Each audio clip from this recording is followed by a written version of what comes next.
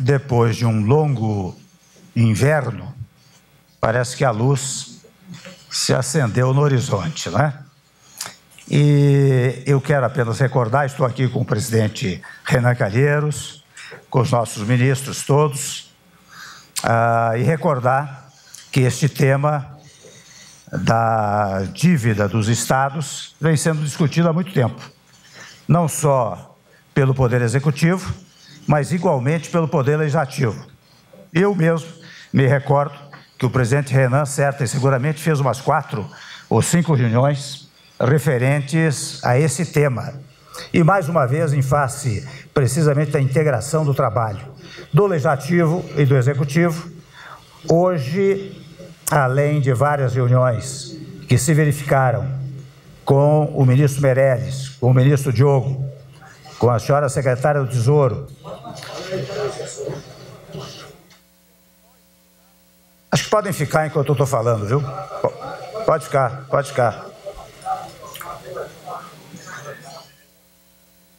Depois de várias, depois de várias reuniões ao longo do tempo, especialmente hoje, os senhores começaram suas reuniões, uh, em primeiro lugar com os secretários da Fazenda e a secretária do Tesouro, não é? Mas depois com o ministro Meirelles, o ministro Diogo, em longa negociação, chegaram a um bom termo. E um bom termo que eu tomo aqui a liberdade apenas de reproduzir uh, em face do que me chegou aos ouvidos. Uh, em primeiro lugar, ficou estabelecido que durante este ano, portanto até o mês de dezembro, uh, haverá uma carência. Não haverá, portanto, pagamentos. A partir de janeiro, começará a chamada escadinha, né? 5,55 do total da dívida no primeiro mês e sequencialmente durante 18 meses até alcançar o nível de 100%. Ou seja, isso tudo somando eh, 24 meses. Nós todos eh, sabemos que há dificuldades extraordinárias nos estados da Federação eh, Brasileira.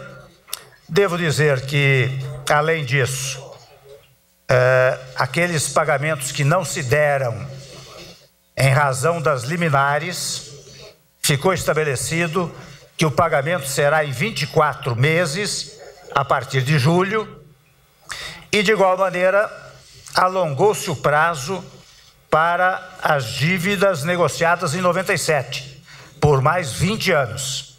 Este foi o prazo estabelecido, portanto, além do prazo já contratado. E nas cinco linhas concedidas de crédito, concedidas pelo BNDES, alongadas por mais 10 anos, a partir do termo aditivo, naturalmente, sendo quatro anos eh, de carência. E, naturalmente, fruto destas conversações, também ficou estabelecido que haveria uma limitação eh, dos gastos estaduais, tal como ocorre eh, na chamada proposta de emenda constitucional, fixadora de teto para os gastos da União.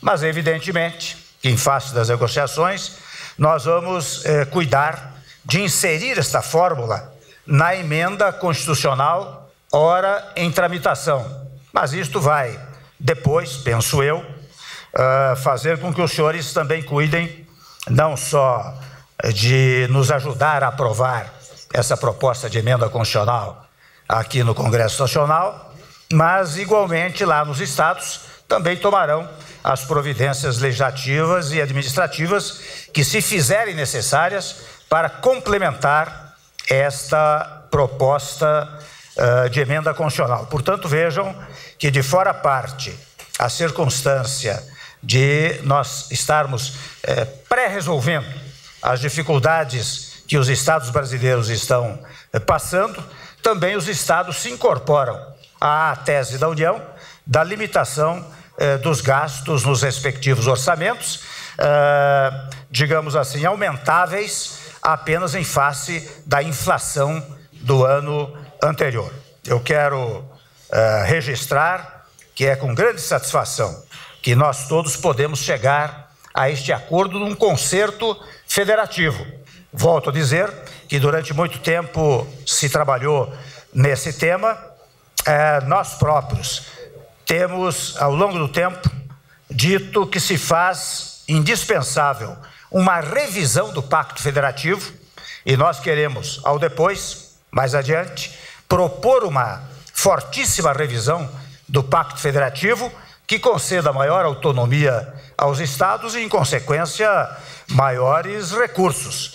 Porque, aliás, eu sempre digo que não se consegue fazer uma reforma tributária no país, porque ela envolve precisamente uma repactuação de competências e de recursos. Portanto, importa numa revisão do Pacto Federativo. Mas isso que estamos fazendo hoje e anunciando hoje aos senhores, logo mais vou ouvi-los, uh, na verdade é uma situação emergencial. Nós estamos fazendo isto em caráter emergencial para depois nós consolidarmos, eh, se Deus nos permitir, uma grande reforma federativa no país. Eu quero mais uma vez cumprimentar o presidente Renan, a Câmara dos Deputados, o, os nossos ministros e todos aqueles governadores que se empenharam nas tratativas que hoje se consolidam eh, neste acordo que nós estamos anunciando. Evidentemente, se houver eu apreciaria que o ministro Meirelles, então, desse uma palavra, não sem antes uma palavra, se me permitem, não sem antes uma palavra do presidente do Senado, Renan Calheiros.